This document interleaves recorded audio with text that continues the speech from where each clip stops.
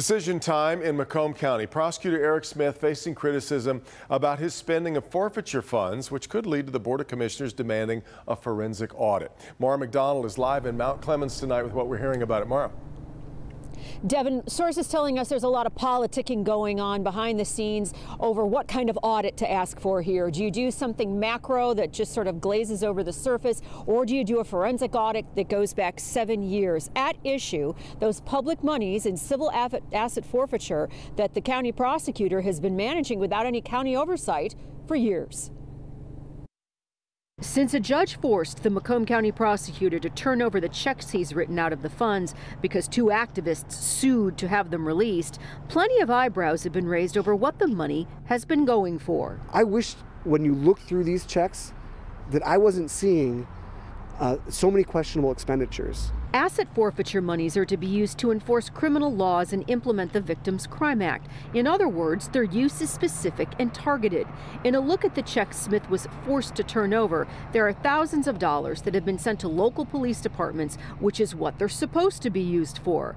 But there are also over $100,000 worth of checks paying off Visa and American Express bills with no notation for what they're for. And there's more thousands of dollars in checks to charity, which is noble, except these public monies aren't designated for that, plus thousands to restaurants and country clubs, and so much more.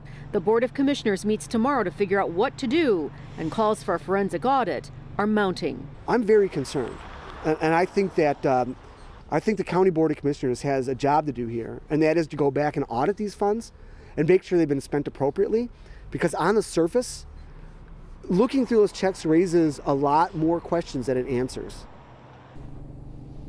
Back here live, I did get a statement from prosecutor Eric Smith tonight, which in part reads, every penny spent has been spent to enhance law enforcement, plain and simple, and we look forward to an audit to get the political motivations set aside. Smith also telling me tonight that he wonders at the timing of all this and why somebody hasn't said something years ago.